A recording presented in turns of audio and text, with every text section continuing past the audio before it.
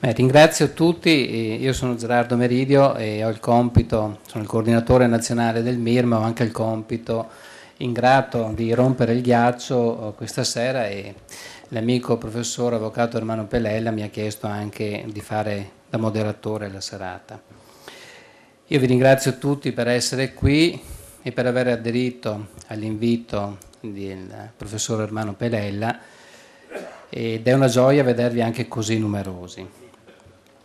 Innanzitutto devo eh, scusare l'assenza del sottosegretario Walter Ferrazza, ma ragioni familiari molto belle eh, gli hanno imposto, questo equilibrio familiare gli ha imposto di eh, restare accanto alla sua signora, perché proprio ieri mattina gli è nato Selvaggia, questa bellissima bambina, per cui accogliamo Selvaggia. Quindi non sono motivi istituzionali, sono ben altri motivi che lo hanno costretto a non essere presente al nostro incontro. L'incontro di oggi, e do subito quindi la parola al professor Ermano Pelella, ha un titolo accattivante, I liberali italiani, quale futuro? Il relatore dell'incontro è il professor avvocato Giampiero Samorì, presidente del MIR, Movimento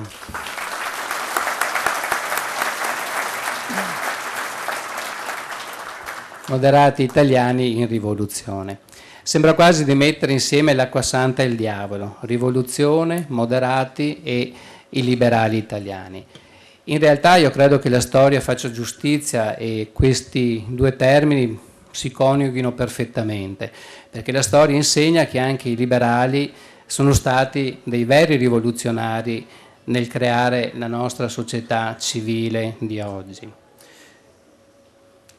Credo che assieme avremo veramente un futuro nel costruire quella che nessuno ad oggi è riuscito a costruire, che è la casa dei moderati e dei liberali nel nostro paese.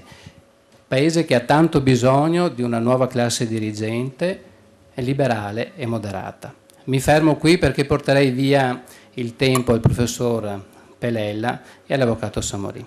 Passo la parola ad Armano.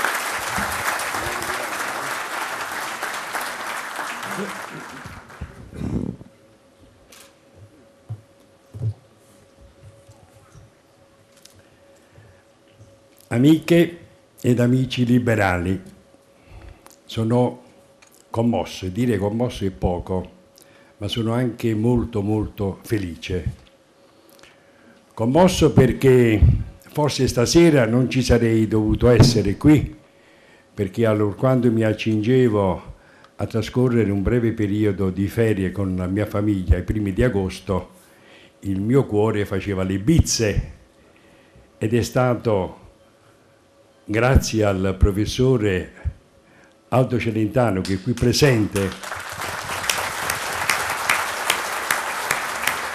e successivamente al mio amico fraterno, il professore eh, Eugenio Rogliani, io sono ancora qui. Per cui la mia gratitudine è imperitura nei confronti di questi miei grandissimi amici, ma sono ancora più commosso perché in questo periodo di questi tempi avere la possibilità, quasi non ci credo, mi sembra un sogno, che al mio invito abbiano aderito tanti e tanti amici in un periodo diciamo di gravi difficoltà in politica è per me un onore, per me una grande soddisfazione, motivo di grande, grandissima felicità e dico grazie a tutti quanti voi amici.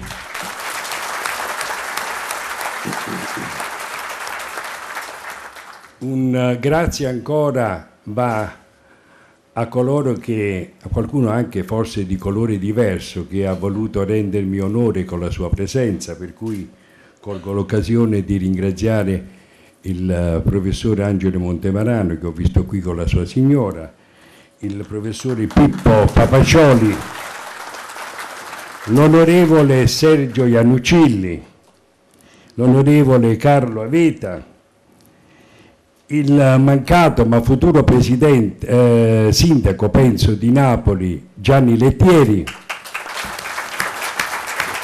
e l'onorevole Marco Calabrese.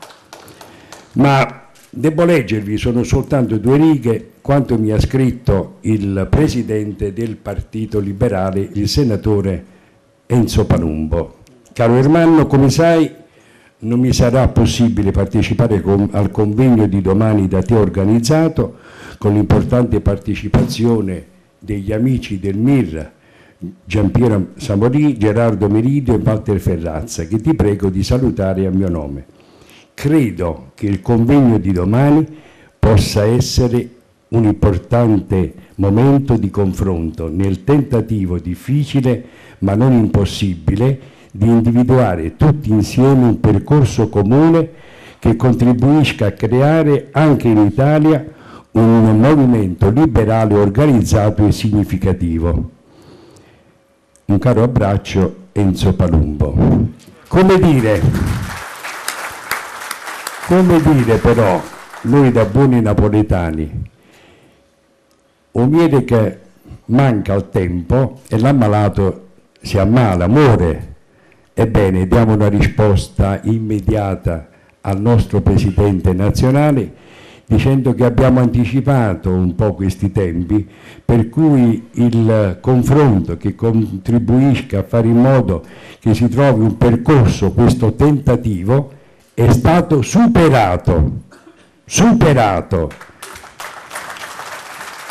superato, superato perché vi spiego subito in effetti, abbiamo avuto le adesioni a livello nazionale di componenti della direzione centrale, Giancarlo Morandi per la Lombardia, Agazio Furina presente qui per il Lazio, Eugenio Barca per la Calabria, Salvatore Boccheri per la Sicilia, tutti i quadri, dico tutti i quadri, nessuno escluso, delle cinque province della Campania, dal presidente professor Francesco Sisca qui presente e tutti i componenti delle varie sezioni sparsi in Campania, segreterie provinciali, segretario provinciale di Caserta il dottor Tonino Mirenda, segreterie regionali, segreterie componenti di tutti i dipartimenti e Dolcis in fundo vi dirò che c'è stata anche l'adesione di Nuova Democrazia che conta, amici carissimi, ben 30.000 iscritti in tutta Italia.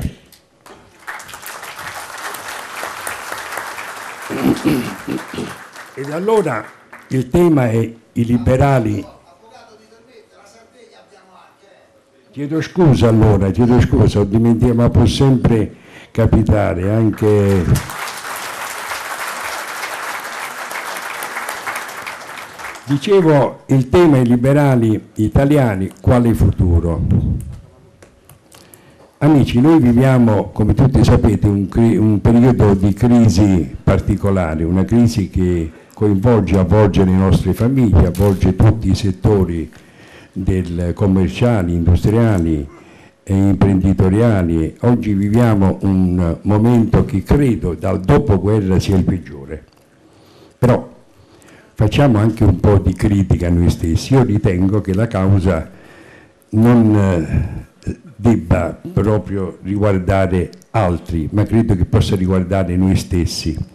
Allora quando questa sfiducia completa nei confronti della classe politica ha dato adito a far sorgere, faccio il caso del Movimento 5 Stelle, la possibilità che il cittadino irritato, adirato, abbia fatto un voto di protesta, ahimè, ha determinato questa situazione attuale dove ci ritroviamo una serie di acefali eh, al, al, comando dei quali ci sta un altro acefalo che è il primus inter partes tra gli acefali.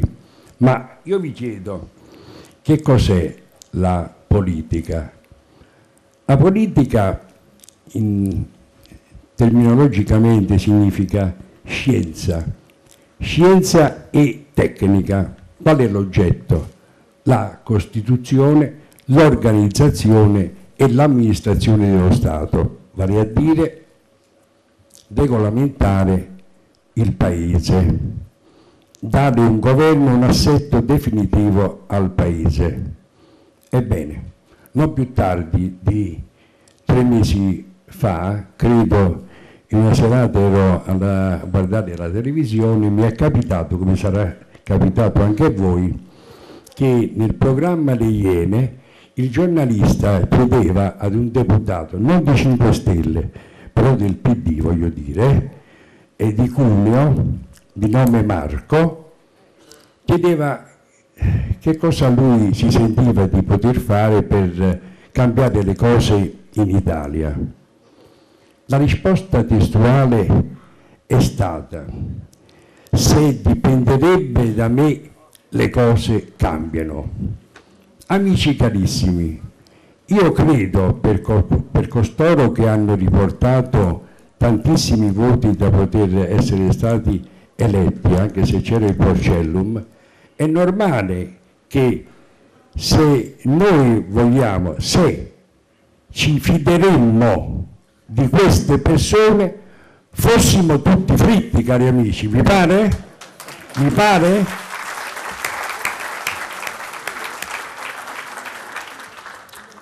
Ed allora tutto quanto vi ho detto di questi partiti improvvisati succede anche nella, nel PD, che potrebbe definirsi un partito di grande evoluzione. Brava, ne avevo bisogno.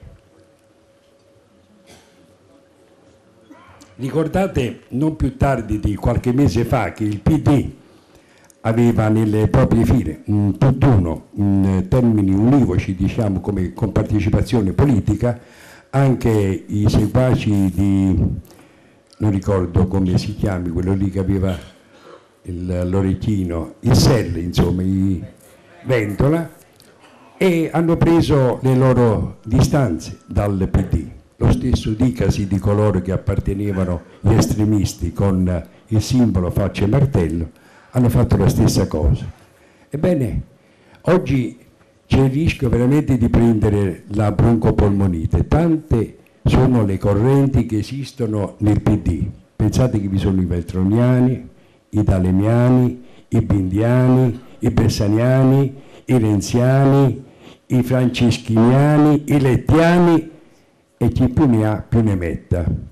Questo partito fortunatamente sono circa vent'anni che non combatte il centrodestra, ma tutte le strategie sono riportate a combattere un uomo, Silvio Berlusconi, fortunatamente sostengo.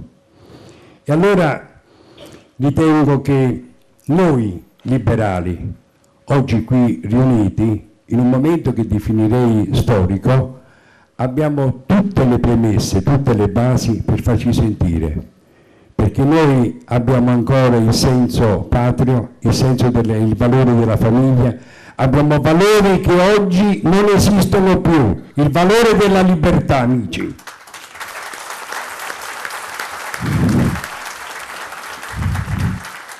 Non più tardi di dieci mesi fa ci riunimmo in questa stessa sala e partimmo per un progetto, un progetto liberale che ci avrebbe dovuto vedere, cosa che poi si è verificata, al, al successo.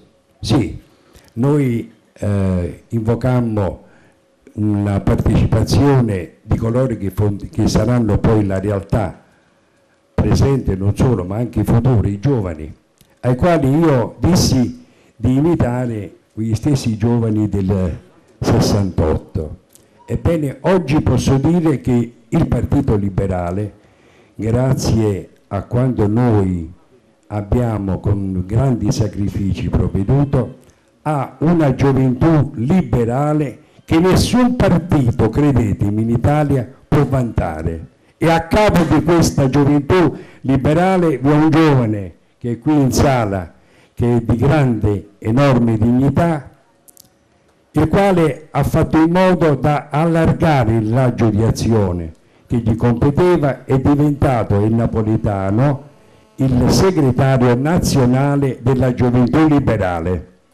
Penso che un applauso lo meriti.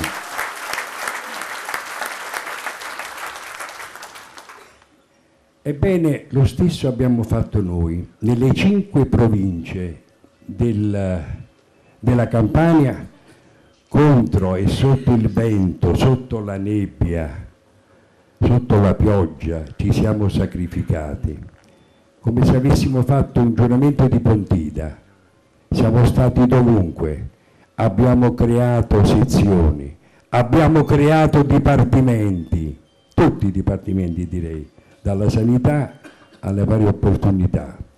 Questo significa praticamente che abbiamo avuto fede, abbiamo creduto in quanto facevamo ed abbiamo avuto dei grandissimi risultati, al punto tale che se qualcuno in maniera più saggia avesse provveduto a livello centrale ad un apparentamento, avremmo, avremmo ottenuto un risultato tale che il premierato sarebbe cambiato. Sì, perché lo zoccolo duro del Partito Liberale conta ben 130.000 voti. Sarebbe tutto stato diverso, pensate un poco. Ma invece la punta di diamante di tutta la nazione è la Campania. Perché tutto questo? Perché abbiamo dato sfogo alle nostre, alla nostra fede, alla nostra volontà, al nostro sacrificio. E posso dire una cosa che è chiaro a tutti, che mi fa piacere ricordare, abbiamo fritto il pesce senza olio, senza olio. L'olio siamo stati noi col nostro sacrificio, con la nostra volontà a creare quanto, è, quanto è stato creato è per me motivo di orgoglio, di immensa soddisfazione dire quanto vi sto appunto dicendo. Oggi è una giornata storica, cari amici, sapete perché? Perché, non forse, perché si uniscono due forze importanti. Si unisce un movimento molto molto importante, quello dei moderati alla bandiera liberale, ai liberali, a quelli che hanno un valore storico, a quelli che hanno una dignità storica, a quelli che sono i figli di Benedetto Croce, che diceva che il eh, vero politico essere, deve essere depositario delle aspettative di tutti i cittadini. Ebbene, questa sera si verifica un connubio io l'ho definita convergenza reciproca. Non affluiamo nel MIR. Il MIR non affluisce nel Partito Liberale. Siamo un tutt'uno, con pari dignità. Ebbene, ebbene, io devo presentarvi un uomo che ho definito in questo modo, l'ho definito il poliedrico moderato giacobino che sogna la rivoluzione liberale.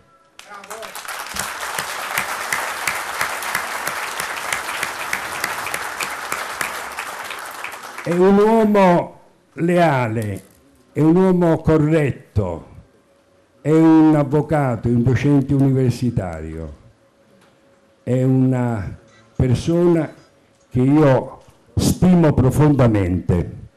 Stimo profondamente perché veramente ha dei valori. Però non è una persona per bene, amici miei. Non è una persona per bene, è un signore. Il che è diverso, come vi ho detto più volte, il perbenismo è qualcosa di fatuo, di vago, generico, Quest'uomo è un Signore e il Signore non tradisce mai, non vi colpisce mai alle spalle. E in politica avere una guida di un Signore è tanto, è tantissimo. Amici, io ho superato il taglio politico stasera per dare spazio a quest'uomo il cui nome non me l'ho fatto ancora, anche se a tanti di voi l'ho presentato. È un uomo forte che tra l'altro si avvale di una collaborazione da parte di un altro uomo, altro signore che io stimo e voglio molto bene, è il dottor Gerardo Meridio che siede alla sinistra del nostro del nostro Giampiero Samorì. Amici, noi con Giampiero Samorì dobbiamo procedere perché ritengo che con questa guida, con un uomo che sa dove, cosa richiede il Paese, possiamo ottenere dei grossi risultati per un progetto che non è utopistico, ma è un progetto realizzabilissimo. E noi a quest'uomo dobbiamo dare dedizione, dobbiamo dare amore. Questa parola che, diceva Dante, muove le stelle e l'universo dobbiamo dare amore che significa dedizione, che significa aiuto, che significa sacrificio, che significa disponibilità e non clientelismo, disponibilità, che significa di ritrovarci tutti qui per una prossima riunione più forti in un discorso univoco che ci veda fratellati e ci veda con grandi risultati, perché le nostre forze, sappiatelo, le nostre forze e quelle congiunte dei moderati di Samorì determineranno la nascita e la, e la presenza di istituzioni ufficiali a livello di municipalità, a livello di comune, a livello di provincia, a livello di regione, a livello di Camera dei Deputati e Senato. Questa è la vera realtà per la quale noi qui stasera siamo riuniti. Amici, vi ringrazio ancora della vostra presenza, ripeto, mi avete reso felice e sappiate che vi voglio molto molto bene. Grazie.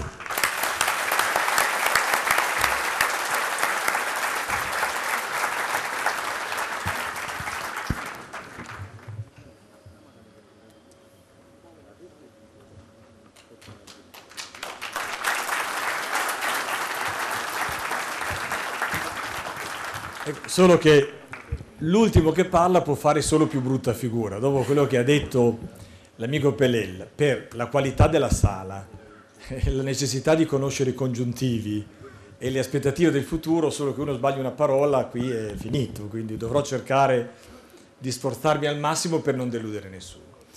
Io ringrazio per primo l'avvocato Pelella, il professor Pelella e tutti voi che siete venuti, perché la cosa più importante per me è riuscire, eh, per così dire, a divulgare un attimo le idee che ho. Perché l'Italia è una nazione che si è avvitata in una situazione che va oltre il conservatorismo, che è la cosiddetta reazione di tipo istituzionale, che è il pericolo maggiore che tutte le società dalla storia del mondo, da quando è storia nel mondo, hanno corso. E in questa situazione la cosa più difficile è riuscire a farsi intendere, perché i mezzi di informazione non danno spazio se non a chi parla un linguaggio conformista, perché le istituzioni non danno spazio se non chi vuole proteggere le istituzioni? E mentre questo succede la società civile va in un'altra direzione. Perché noi siamo nel pieno di una crisi che non è solo economica fortissima, è una crisi economica è una crisi ideologica, è una crisi culturale. È la crisi di un modello di sviluppo che sta lasciando il passo a un altro modello di sviluppo del quale è difficile intuire le dinamiche evolutive, perché è sempre stato così.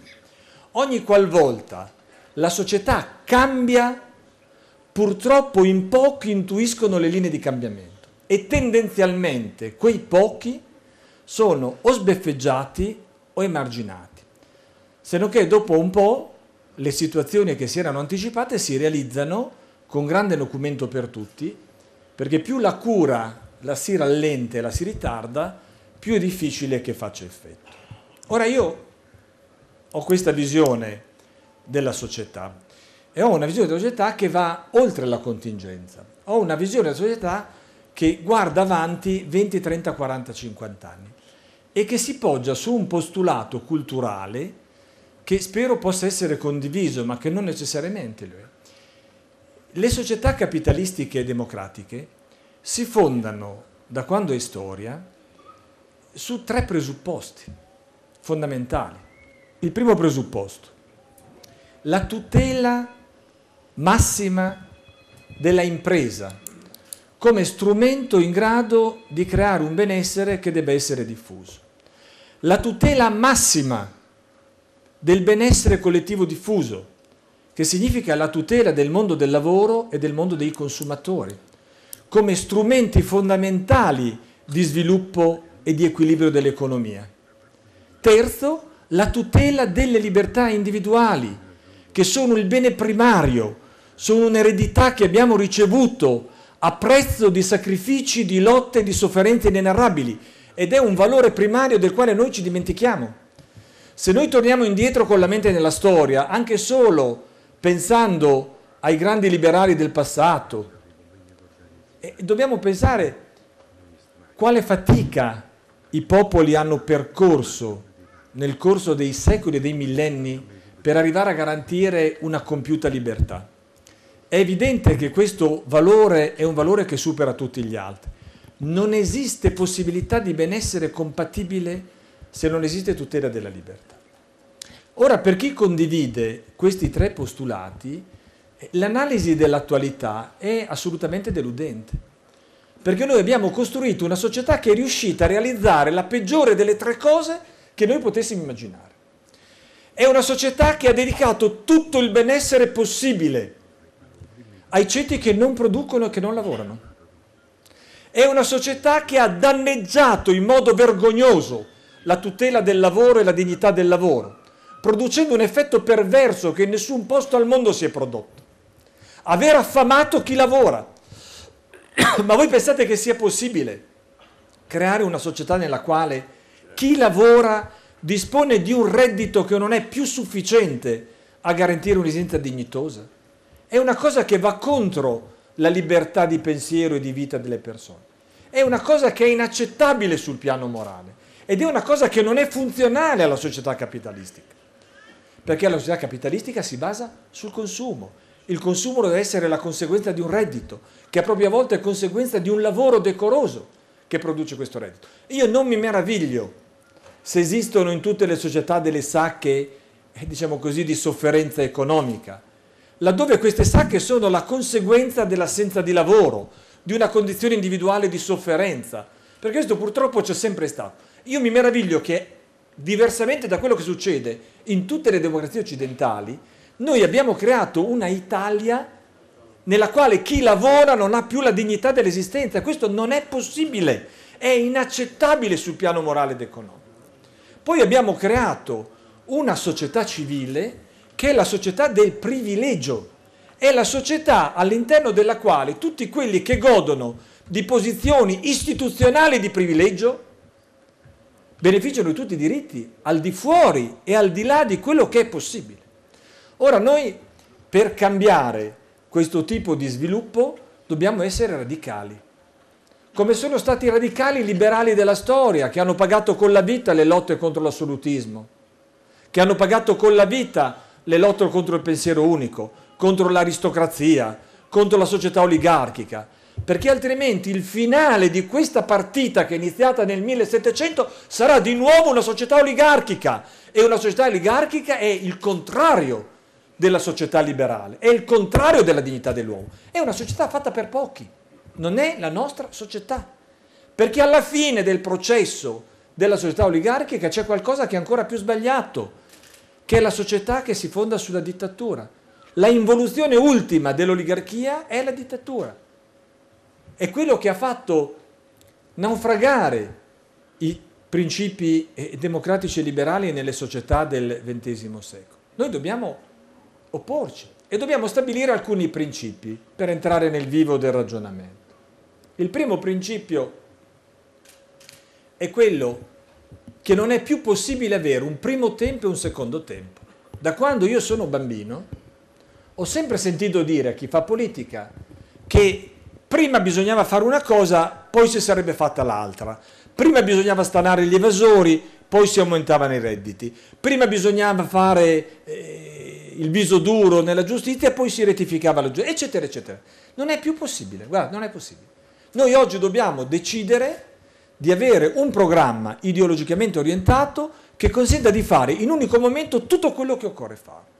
E quello che occorre fare sono alcune cose fondamentali senza le quali noi non ci salviamo né in termini economici né in termini morali.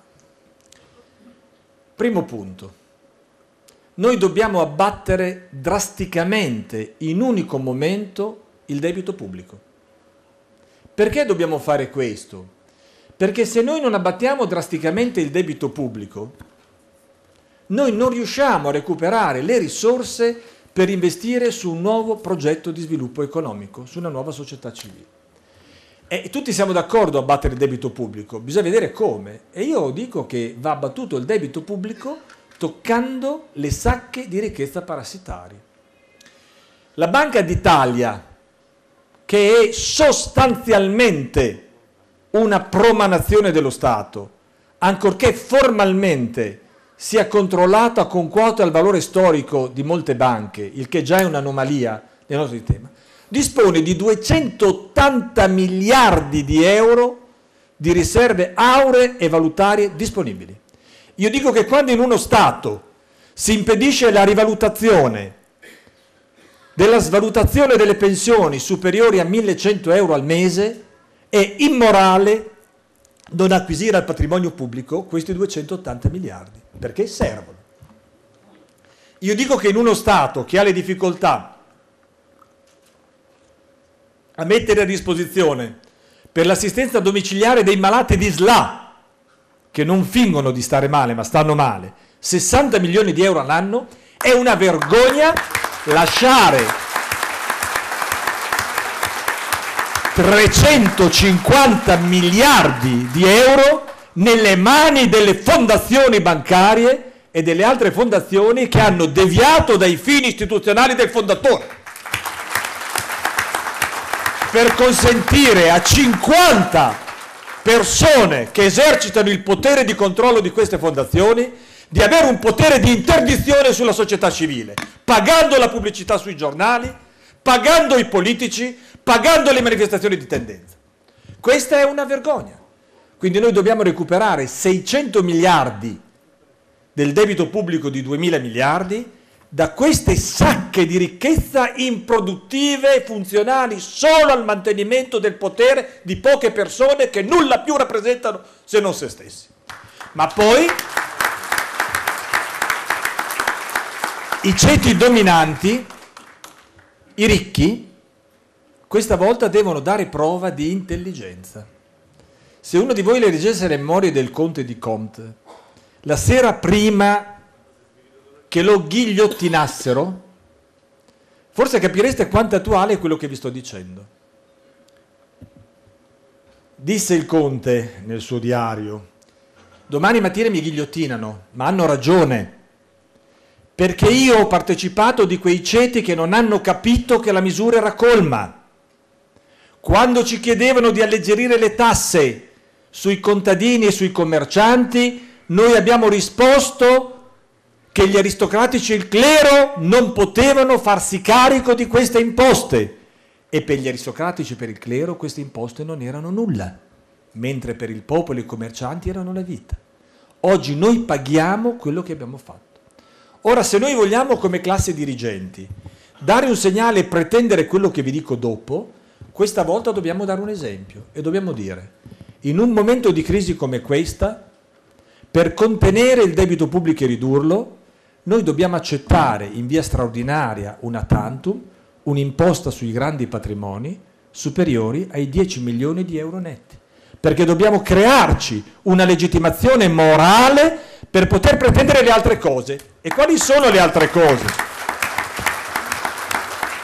Che noi dobbiamo pretendere contestualmente. La prima, la più importante, che si dia un esempio dagli organi istituzionali, di uniformare i loro costi di funzionamento a quelli europei. Io vorrei scrivere, e appena avrò l'immunità parlamentare dirò molto peggio, io vorrei scrivere al Presidente della Repubblica per dirgli che esempio dà il Quirinale nello spendere un miliardo all'anno di spese di funzionamento, che è esattamente pari al doppio di quanto si spende a Buckingham Palace e all'Eliseo. Vorrei chiedere cosa si capisce del modo di essere della gente normale quando si tengono le tenute di San Rossore e le tenute anteriori di Castel Porziano, dove spendiamo centinaia di milioni all'anno per allevare i cavalli e fare le riserve di caccia. Ma chi di voi è andato in America e a vedere cos'è Camp David? Io sono andato. Vi dico che Camp David è un ranch dove i nostri Presidenti della Repubblica non andrebbero neanche a dormire se si trovassero all'addiaccio, per quanto è modesta nella sua costruzione. Beh, noi possiamo accettare che l'istituzione del Quirinale, che è il capofamiglia di tutta l'Italia, abbia questa capacità di spesa superiore al doppio di quello che succede nelle altre cancellerie europee. Dobbiamo chiedere solo agli operai che prendono 1100 euro di ridurre i loro salari per uniformarci all'Albania? E dobbiamo continuare a dare questi esempi.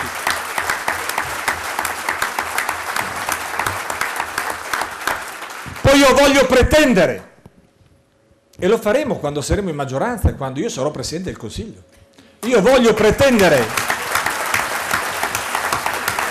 in unico momento che tutti i costi di funzionamento dello Stato si uniformino a quelli esteri. Se noi abbiamo 55 milioni di abitanti e la Germania ne ha 95 e la Germania 630 parlamentari e noi 960, noi li dobbiamo portare a 430 perché se no non c'è la competizione nel mercato internazionale. Se la Germania ha 7 membri della Corte Costituzionale, noi 15, dobbiamo portarli a 7 e dobbiamo trattarli come loro e come loro come li trattiamo e come li trattano. Da noi il Presidente della Corte Costituzionale, se anche stato in carica un giorno, un giorno, prende 30.000 euro all'anno di stipendio per tutta la vita, la macchina, l'autista e le guardie del corpo, in Germania ti danno la mano e ti dicono grazie, arrivederci. Quando hai finito il tuo compito torni a fare quello che facevi prima. E questo è il motivo, se voi fate caso, di quanti presidenti emeriti della Corte Costituzionale noi abbiamo. Perché tutti sono furbi, anche quelli che parlano bene ma razzolano male. Si nominano tutti nell'ultimo anno di carica, nell'ultimo mese, così ne abbiamo 50 da mantenere ogni generazione. E questo non è possibile. Noi abbiamo degli istituti in Italia che non si riescono a spiegare all'estero. Io quando parlo con i miei colleghi avvocati in Inghilterra, quindi con delle persone di cultura, non, e gli spiego che in Italia abbiamo l'istituto del distacco, non riesco a farmi capire perché sembra una barzelletta L'istituto del distacco è quell'istituto per il quale se tu sei nella dirigenza dello Stato, il magistratore eccetera, e ti chiamano a fare un altro lavoro nello Stato, contemporaneamente prendi due stipendi e maturi due trattamenti pensionistici, non si riesce a far capire all'estero com'è possibile questa cosa, che è una vergogna morale. E potrei continuare all'infinito, pensate che il governatore della Banca d'Italia si è autoridotto da quando io ho cominciato a mettere in piazza i numeri lo stipendio prendeva 750.000 euro all'anno, Draghi che è il suo superiore 350.000. Il presidente dell'Inps in Italia prende 1.800.000 euro, il presidente dell'Inps in Germania 120.000 euro. Ma queste cose vanno dette, vanno dette in piazza dappertutto perché gridano vendetta, perché non sono in varianza zero, questo bisogna cominciare a capire, attenzione. Ogni volta che lo Stato butta via in queste sacche di resistenza al cambiamento, questi soldi sono sottratti all'economia reale, sono sottratti alle imprese, sono sottratti alle famiglie, vengono sottratti sotto forma di maggiorazione dell'imposizione fiscale. E questo è ingiusto, soprattutto verso chi ha di meno. Punto. E poi qui ci sono tutte le altre cose che sapete tutti, via, che è inutile dirlo. Cioè, qui ormai proteggiamo con le, con le scorte con le cose, anche chi 40 anni fa ha fatto una legge per il distacco dell'unghia dal pollice, c'è un mondo che non funziona. Solo se le ceti dirigenti e i ricchi, chi ha la fortuna, la capacità, la bravura di avere messo insieme un patrimonio, per dire la verità ci sono in mezzo anch'io, darà l'esempio e dirà io sono pronto a pagare la mia parte, ma voglio che contemporaneamente, non prima e dopo, anche tutti gli altri si rimettano in regola, forse riusciremo a uscire dalla situazione. Se no è impossibile. Nessuno degli interventi di questo governo, del quale poi parlerò, è in grado di migliorare la situazione. Sono variazioni sul tema che non toccano il problema. E allora va cambiata la impostazione. Bisogna passare dalla variazione del tema al problema. Ecco in cosa consiste la rivoluzione liberale. Cioè nel capire che siamo in una fase nella quale se si va avanti bene sul nuovo progetto di sviluppo, se no non c'è niente da fare. E anche qui bisogna culturalmente guardare avanti. Dove va il mondo fra 30 anni, 40 anni, 50 anni? Dove va il mondo? In un'altra direzione. Il mondo va per aree di specialità. Ci saranno territori nei quali si va a prendere una cosa, territorio un'altra. E noi dovremo capire che lo sviluppo deve essere diverso. Se vogliamo rilanciare, ecco perché occorre abbattere il debito pubblico, per trovare le risorse per finanziare un nuovo modello di sviluppo. Ora, eh, tutti diciamo, porto alcuni esempi, tutti diciamo che l'edilizia è in crisi, ma l'edilizia non è in crisi, è in crisi irreversibile, perché è in crisi il modello di edilizia che abbiamo perseguito. Voi pensate che si possa ancora continuare a fare delle villette a schiera, dei condomini nel È impossibile! Noi dobbiamo rilanciare l'edilizia finanziando le demolizioni e le riqualificazioni territoriali. Non possiamo più fare case e condomini, non ce n'è bisogno. Se giraste con un elicottero sopra tutta l'Italia, perché è tutto uguale. È una vergogna. Sembra una metastasi che avvolge il territorio. Possiamo ancora continuare a fare quello sviluppo? No. Dobbiamo finanziare un altro modello di sviluppo. E così via. Noi dobbiamo anticipare i tempi, fare come hanno fatto alla fine dell'Ottocento, e vi racconto un episodio che storicamente è vero. Noi dobbiamo fare una norma di legge che dica che fra cinque anni in Italia non è più possibile commercializzare delle auto che non siano elettriche o comunque che siano col motore a scoppio, per riqualificare l'ambiente, ma non solo, per creare un'industria all'avanguardia. Non preoccupatevi delle resistenze iniziali, se facciamo così fra cinque anni ci saranno dieci famiglie Agnelli nuove che saranno all'avanguardia nel mondo, perché succederà la stessa cosa che successe in Italia all'inizio del Novecento. Sul finire del 1800 c'era una famiglia in Europa che si chiamava Von Sturm und Taxis, famiglia talmente importante da aver acquisito il monopolio su tutti i trasporti di merci e di persona via ruota, diligenze, carri, quindi al netto delle ferrovie. Tanto importante che il nome taxi deriva dal nome di questa famiglia, quindi voi potete capire assiomaticamente coincidente col concetto stesso di trasporto. Bene, quando iniziarono a costruire queste macchine a motore a scoppio, questa famiglia fece la malora, perché capì che gli potevano intaccare il monopolio e cominciò una serie di campagne lobbistiche fortissime per ritardare la possibilità di commercializzare queste macchine e di produrle. I motivi erano gli stessi che si adducono oggi quando io dico che bisogna impedire di costru- costruire macchine con motore a scoppio e orientare le aziende in, una, in un'altra direzione. Le macchine erano pericolose, bisognava fare le infrastrutture, si perdevano i posti di lavoro in quelli che costruivano le carrozze, non c'erano più i maniscalchi, eccetera, eccetera, eccetera, eccetera. Conclusione, nelle nazioni più evolute dove queste campagne furono fatte, lo sviluppo del settore automobilistico ha avuto un ritardo di 20 anni. L'Italia era considerato un territorio povero, dove non valeva neanche la pena investire in attività di lobby. Tant'è vero che queste attività furono fatte in Francia, in Germania e in Inghilterra. Chi se ne fregava dell'Italia? Chi se ne fregava dell'Italia sono nate le principali industrie automobilistiche del mondo, sulle quali l'Italia ha prosperato per 60 anni l'Isotta Fraschini, l'Ivo Rivolta, la Fiat, l'Alfa Romeo, la Lancia, eccetera, eccetera. Le altre aziende sono nate intorno agli anni 20. Perché? Perché hanno subito un ritardo costretto da queste forme di pressione. E cosa vuol dire anticipare il futuro per avere un futuro? Terzo, valorizzazione dei beni che noi abbiamo. E noi abbiamo il più grande patrimonio. Siccome ci sarà un fenomeno di specializzazione nelle aree geografiche, ognuno dovrà vendere quello che ha di meglio. Noi di meglio abbiamo un patrimonio artistico e culturale inestimabile, architettonico, di ogni genere. E però non basta più averlo, bisogna culturalmente attrezzarsi ad utilizzarlo a modo moderno. Cosa significa? Vedete, se uno va in Giappone, io, bisognerebbe che noi facessimo ogni tanto qualche viaggio all'estero tutti quanti per capire quanto siamo indietro. Se uno va in alcuni musei di Tokyo, hanno cominciato a esporre le nostre opere d'arte pittoriche, ovviamente false, cioè rifatte per fare... ma dietro queste hanno costruito una interattività, nel senso che oleograficamente è ricostruita la fase di costruzione del quadro e il pittore che dipinge per far capire se quel pittore ha una tecnica che si passa dal bianco al nero, dal nero al bianco. Perché? Perché la gente oggi vuole qualcosa di di più, vuole capire di più. Non è sufficiente guardare il quadro, non è sufficiente guardare Pompei. Bisogna costruire un mondo intorno a queste situazioni. Cioè bisogna rilanciare l'idea eh, dell'Italia museo all'aria aperta. Ma un museo all'aria aperta ha bisogno di un contesto che consenta il godimento di queste bellezze che noi abbiamo, che le valorizzi, che le renda vive, perché la gente ha bisogno di un'interazione diversa. Punto.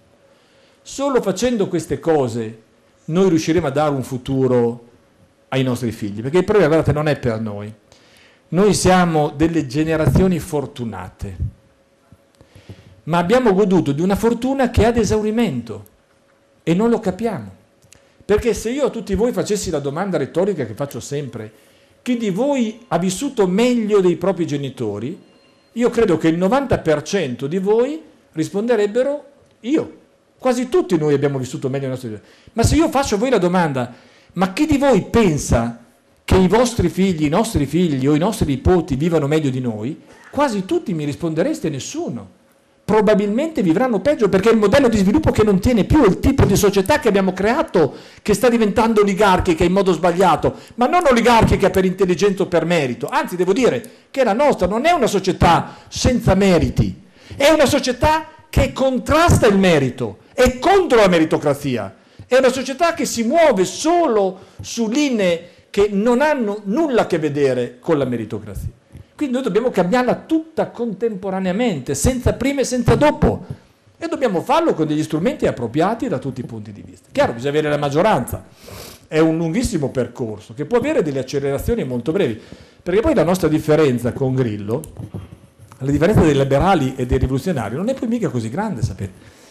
Nel senso che lui riesce a intercettare un malessere urlato che noi per tradizione non possiamo esprimere, ma è anche il nostro malessere verso una società che non funziona.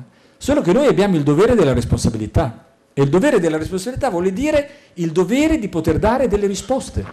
Grillo si può permettere di godere della distruzione e di dire questo non va, lo distruggiamo, noi no, abbiamo il senso di responsabilità. Quindi per noi l'impegno è doppio, la fatica è doppia, fatica, ma ci riusciremo sicuramente.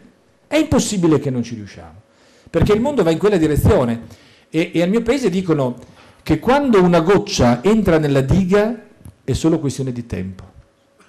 E la diga siete voi, nel senso che la goccia siete voi, nel senso che grazie a questi incontri, alla vostra disponibilità, io riesco a esprimere questi concetti e spero che questa goccia faccia breccia nella diga. Vengo a parlare per non sottrarmi del governo. Cosa penso del governo Letta? Di tutto il male possibile dico che forse ha ragione Giuliano Amato quando ha detto è vero che il governo dei professori ha fatto schifo, ma non è che la soluzione si rimedi passando dal governo dei professori al governo dei fuoricorso, perché eh, voglio dire, se c'è una punta...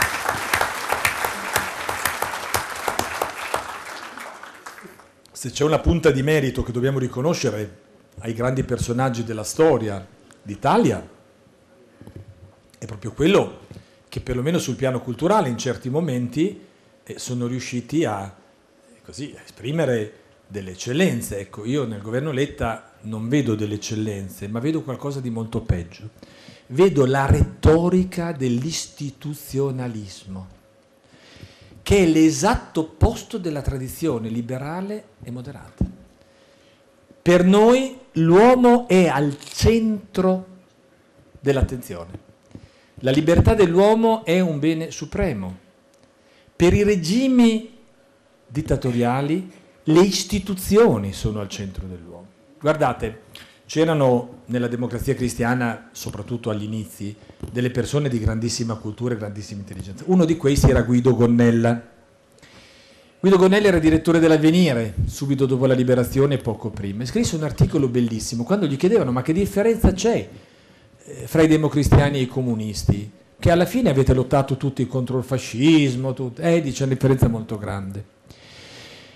Entrambi vogliamo il bene dell'uomo, ma a noi interessa l'uomo che vive oggi e quello che vivrà domani. A loro quello che vive oggi non interessa, a loro interessa quello che sarà domani, ma un domani che non arriverà mai e nel frattempo se ne fregano dell'uomo che vive oggi. Questa è la differenza fra essere liberali e istituzionalisti. Chi ha una concezione che pone l'uomo al centro dell'attenzione non può accettare che le istituzioni siano fine a se stesse e valgano in quanto tali. Deve pretendere che le istituzioni siano al servizio del cittadino. E quindi c'è una conversione culturale a 360 gradi nel rapporto con la pubblica amministrazione, nei modelli di formazione culturale, di istruzione, di, di tutto quanto. E questo governo è un governo di ammenicoli, si mettono delle giri di vite per regolare alcune cose, si dice è possibile fare il leasing nelle barche tra privati, pagando la cedolare secca, cioè non serve a niente. Cioè si fanno piccoli aggiustamenti all'interno di un momento che è di una gravità cosmica e che ha bisogno degli interventi, diciamo così, drammatici di cui prima vi ho fatto, vi ho fatto cenno. Ma questo governo nasconde un'insidia ancora più grave, perché vedete, io dico adesso una cosa che non si può più dire in Italia, perché se noi la diciamo, quasi quasi ci arrestano. I comunisti e il comunismo esistono ancora. Ci hanno raccontato che non è vero, ma è vero. Esistono nella mentalità e nella formazione che hanno avuto da giovani. Esistono ancora in Parlamento e non solo in Parlamento persone che hanno votato contro l'ingresso dell'Europa nella Nato, che hanno espresso solidarietà a Stalin negli anni delle purghe, persone che hanno votato a favore di mozioni che plaudevano l'intervento dell'Unione Sovietica in Ungheria, persone che hanno votato contro i Persing, i Cruisi, l'ingresso nella Nato, l'ingresso nella, unità, nella comunità europea, nella CECA, che hanno votato tutto contro quello che è servito a farci diventare nazione civile. E che se fosse stato per loro noi oggi saremmo come il Kazakistan, neanche come la Romania. E oggi ci vengono a spiegare come si grattiscono le istituzioni, cos'è la democrazia. Ma è possibile? No, non è possibile. Queste persone sono le stesse e quando avrò l'immunità parlamentare io pubblicherò in tutta Italia alcuni giornali firmati da personaggi eccellenti dei quali oggi nessuno ha il coraggio di parlare o di ricordarsi.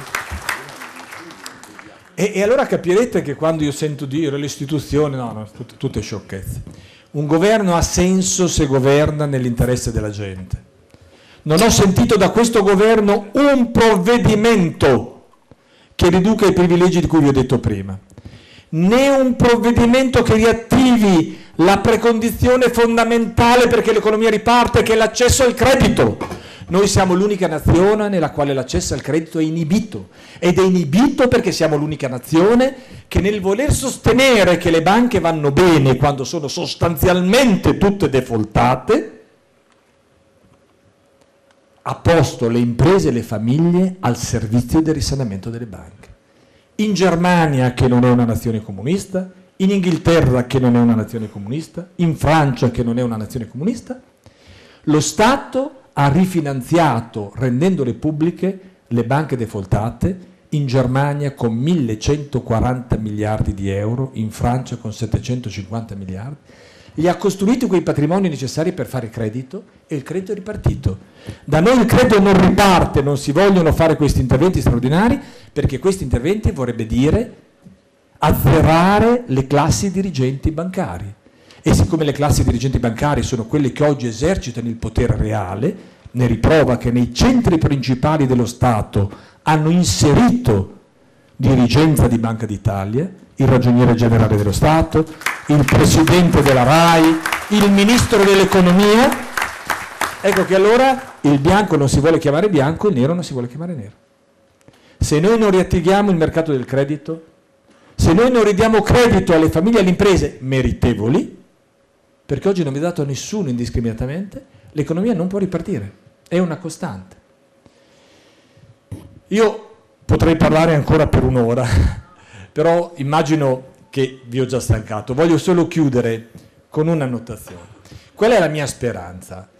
Noi abbiamo costruito questa associazione, che è un'associazione, non è un partito, che però si presenta in diverse competizioni e che ha l'ambizione sostanzialmente di raccogliere l'eredità del migliore centrodestra italiano, di vincere le elezioni e di portare all'attenzione del governo questo programma. Noi abbiamo bisogno di qualità e io credo che la migliore qualità oggi in Italia la si trovi all'interno del Partito Liberale. Io penso e spero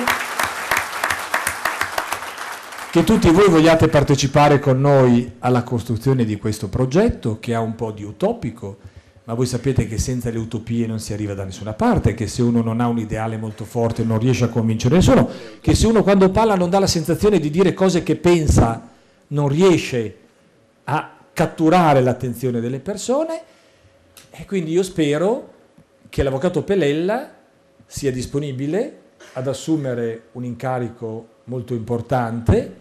Io eh, spero che lui accetti di diventare vicepresidente nazionale del nostro movimento.